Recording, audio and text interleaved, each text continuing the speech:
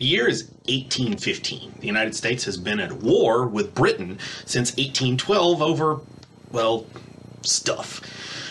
The British are trying to force a resolution to the end of the war that would be favorable to them, and so they've launched a number of invasions into the United States' territory. One of these is going to be to control the most important geographic feature of the North American continent, and that is the Mississippi River. Trying to leverage away control of what was then the Louisiana Purchase, still barely under American control. Our main figure on the American side is going to be Andrew Jackson. That's right, that Andrew Jackson, who is going to be tasked with trying to defend New Orleans from a massive invasion of British forces with a pretty motley crew of defenders, including some local militia, some people that he could just grab off the streets, some volunteers, and even in some cases, some straight up pirates. That's right, honest to goodness pirates. The battle itself would pit a much larger and more experienced army against Jackson's force of defenders, who only had hastily created breastworks, some of which were merely cotton bales. But British overconfidence played into the Americans' hands. Jackson was able to use a battlefield that was constrained on two sides by swamps and the Mississippi River and was covered in ankle deep mud.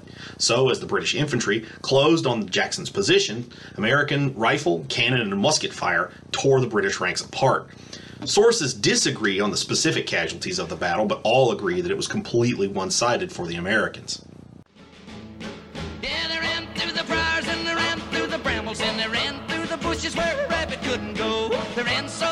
that the hounds couldn't catch them. On down the Mississippi to the Gulf of Mexico. What's crazy is that the battle took place sort of after the war had already ended. British and American ambassadors had been meeting for months in Belgium. In fact, just a few weeks before the battle, they had agreed on the Treaty of Ghent. Ghent. Ghent. Gaunt. Ghent. Gaunt. Let's find out for sure.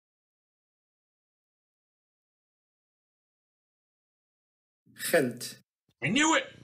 What's this? First try. Anyway, the amount of time that it took for the news to travel across the Atlantic meant that the battle had already been fought after the peace treaty had been pretty well negotiated. This would lead to a long peace between Britain and the United States until 1859, when the two countries would fight the Pig War, where the only casualty was the pig.